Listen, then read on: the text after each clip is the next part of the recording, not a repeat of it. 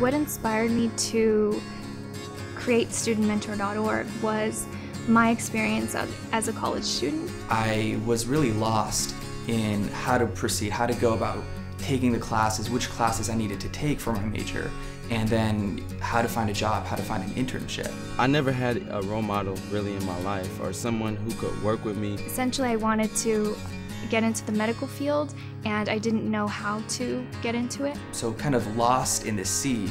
It was only until my first internship where uh, my boss actually took me aside every week and uh, really coached me, mentored me. He really provided me with all the all the need to know um, about how to, to become a medical doctor. From there, I kind of thought, well, a lot of other people and a lot of other students, specifically college students, don't have someone in their life, don't have a family friend, don't have a friend who is a doctor or a writer or an engineer. And um, having something like studentmentor.org, this free service where you can meet all these people and get help from all these people, I thought was very, very valuable and you know, it's something that was very much needed.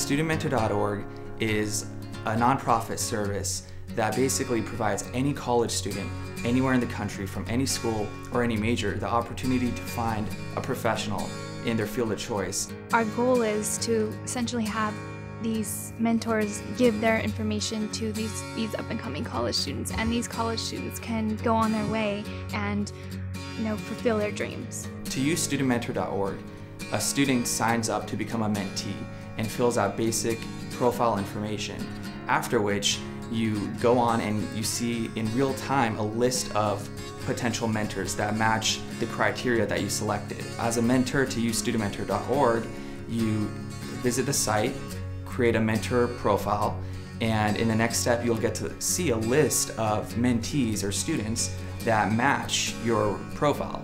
And you get to review each person's goals and see how which one is really the best one for you.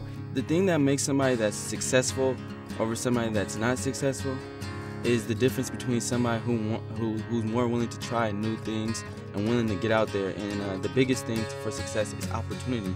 And what studentmentor.org does is give you uh, a large uh, a large source of opportunity where you can meet new people who are involved in great things and see how far you can get through there.